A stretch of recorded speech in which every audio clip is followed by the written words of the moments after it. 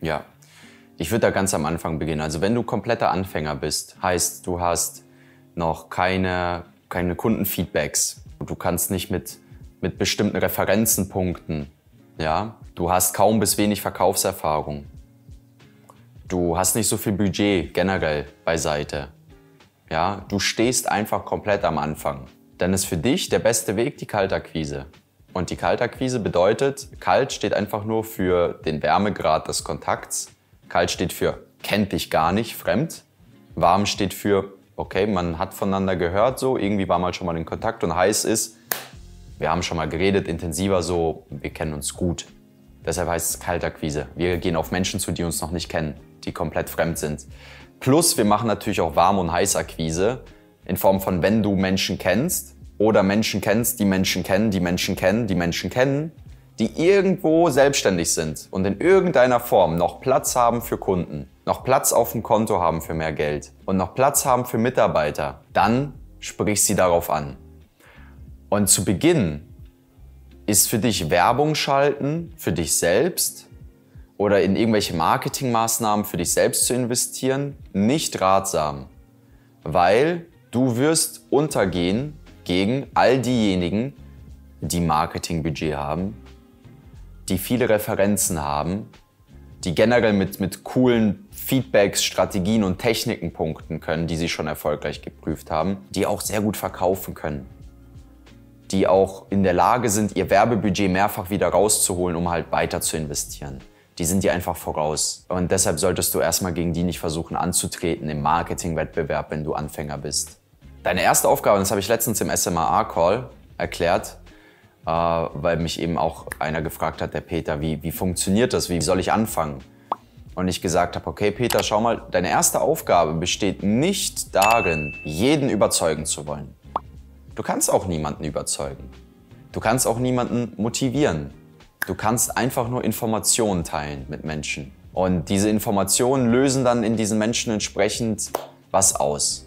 In dem einen Handlungsbedarf, in dem anderen Desinteresse, in dem anderen, ja, kann was sein, kann auch nichts sein, keine Ahnung, schauen wir mal. Und deine Aufgabe ist am Anfang nur Informationen zu verteilen. Sowohl an Menschen, die du kennst, die irgendwas mit Selbstständigkeit zu tun haben, als auch an Menschen, die Menschen kennen. Die Menschen kennen, die Menschen kennen, die Menschen kennen, die was mit Selbstständigkeit zu tun haben. Also die heiße Akquise, die warme Akquise und dann die kalte Akquise über LinkedIn, über Facebook, über Instagram, über E-Mail, über Briefe, ja, über das wundervolle Telefon und jetzt auch wieder über lauf einfach mal in ein Geschäft rein oder sprich doch einfach mal mit einem Kellner, sprich doch mal mit einem Kassierer dort. Unterhalte dich mit Menschen und stelle ihnen Fragen. Hey, ich habe gesehen, ihr schaltet noch keine Werbung. Hey, ich habe gesehen, ihr nutzt den Facebook-Pixel gar nicht auf eurer Webseite.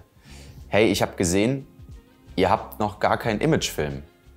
Hey, ich habe gesehen, ihr postet täglich was auf Instagram, aber da kommt kaum Interaktion bei rum. Hey, ich habe gesehen, ihr sucht neue Mitarbeiter. Hey, wenn ich mich so umschaue bei euch im Fitnessstudio, sehe ich immer wieder die gleichen Leute. Sag mal, habt ihr eigentlich noch Platz für neue Mitglieder? Stell Fragen. Stell gute Fragen. Stell schlaue Fragen. Und danach verteile eine Information. Und zwar, ich glaube, dass ich dir in dem Punkt, über den wir gerade geredet haben, helfen kann.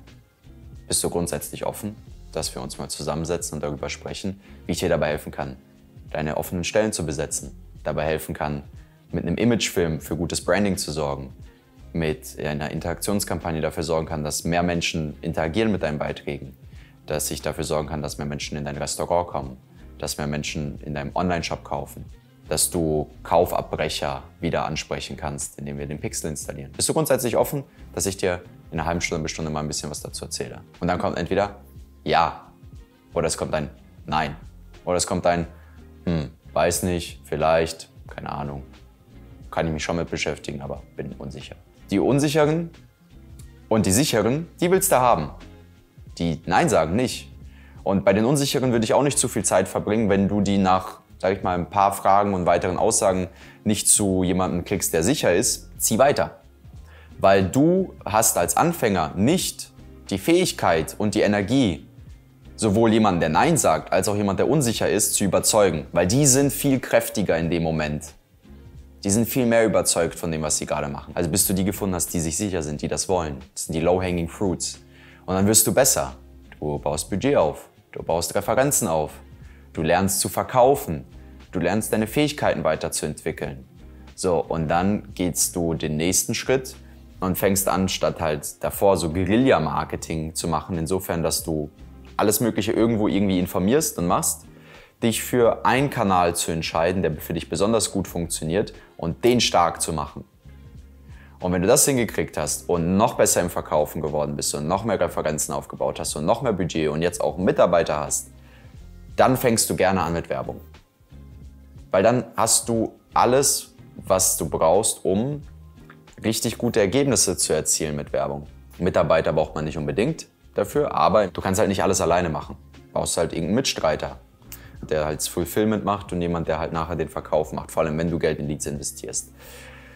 Und dann fängst du damit an. Und das ist dann unschlagbar.